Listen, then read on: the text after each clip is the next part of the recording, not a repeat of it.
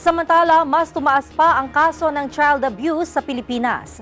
Batay sa ulat ng PNP Women and Children Protection Center, tumaas ng 93% ang child abuse cases mula sa 9,737 mula buwan ng Enero hanggang Hunyo ng nakarang taon.